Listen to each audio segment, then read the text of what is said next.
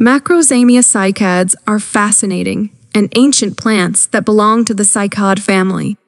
These plants have been around for millions of years and are known for their distinctive appearance and slow growth. If you want to grow and care for a Macrozamia cycad, here are some important steps to follow. Choose the right location. Macrozamia cycads thrive in well-drained soil and prefer a partially shaded to full sun location. In their natural habitat, they often grow under the canopy of taller trees. Soil preparation. Ensure the soil is well draining, as cycads don't tolerate waterlogged roots. Sandy or loamy soil with good drainage is ideal. You can improve drainage by adding perlite or coarse sand to the soil. Planting. Plant Macrozamia cycads at the same level they were in their nursery pots. They don't like to be planted too deep. Watering. Water deeply but infrequently. These plants are drought tolerant and prefer to dry out between watering. During the growing season, spring and summer, water every 2-4 weeks, depending on the climate and soil conditions. In winter, reduce watering frequency.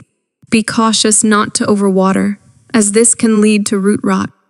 Fertilization. Fertilize with a slow release, balanced fertilizer in spring and summer. Use a fertilizer specifically formulated for cycads or palms. Avoid high nitrogen fertilizers, as they can be harmful to cycads. Mulching.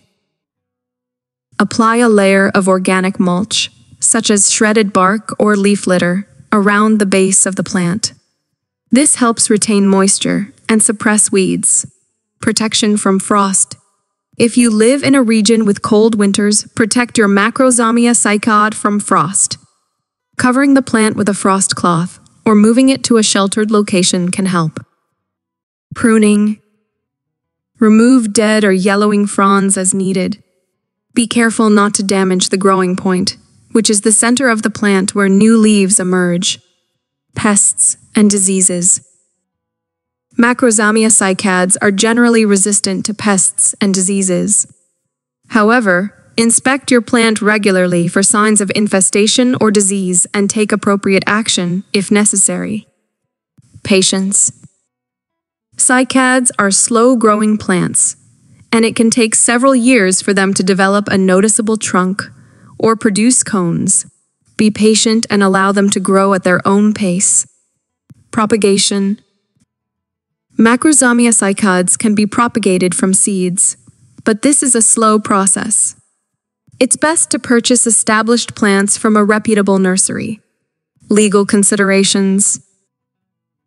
Some species of Macrozamia cycads are protected by law, and it may be illegal to collect or remove them from the wild without proper permits. Ensure you are compliant with local regulations. Remember that each species of Macrozamia cycad may have specific care requirements, so it's essential to research the specific variety you are growing. By following these general guidelines and tailoring them to your specific plant's needs, you can enjoy the unique beauty of these ancient plants in your garden